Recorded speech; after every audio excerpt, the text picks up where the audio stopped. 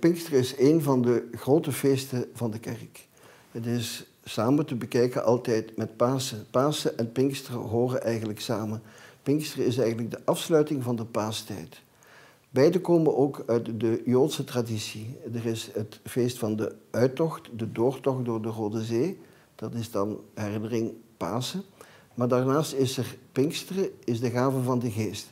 Het is zo dat christenen deze beide feesten vanuit de figuur van Christus zijn gaan beleven. Eh, omdat wij, niemand van ons heeft ooit God gezien, maar in Christus heeft hij zich getoond. Wel, christenen beleven beide feesten vanuit de figuur van Jezus. Pasen wordt dan de doortocht van Jezus door de dood en ook door het kruis. En hij is door de Vader verhoogd, feest van Pasen. Pinksteren is dan de gave van de geest die Jezus beloofd had, maar die ons uiteindelijk door de Vader wordt gegeven. De eerste christenen, dat was een eh, kleine groep van mensen die Jezus gevolgd hadden. Mannen en vrouwen die vaak bij hem geweest waren en hoorden spreken. En na alles wat gebeurde met Pasen en ook met zijn weg zijn, hemelvaart, eh, die waren bang. Die waren samen in de bovenzaal, eensgezind en verlangend in gebed.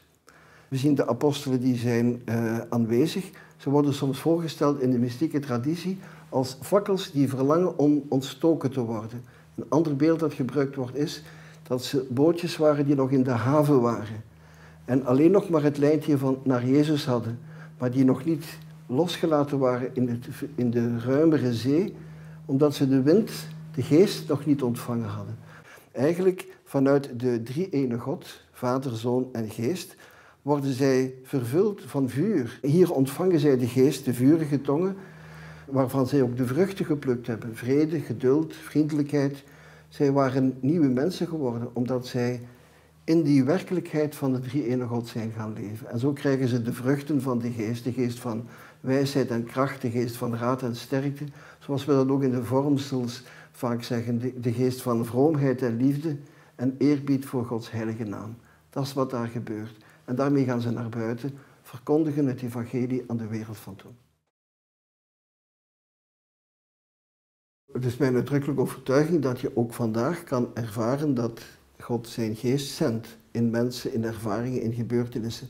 Als je probeert te bidden, ook in deze tijd, als je uit de schrift leest, of als je andere gelovige mensen, zoekende mensen, maar ook gelovige mensen ontmoet, dan kan je soms ervaren, het gaat niet alleen over Jezus die toen geleefd heeft en die verrezen is, maar de, de geest die ook op deze paaskaart staat, de duif, het vuur, de geest, kan ook vandaag geboren worden, aanwezig zijn in gesprekken en ontmoetingen en vooral in de eigen bezinning over het leven.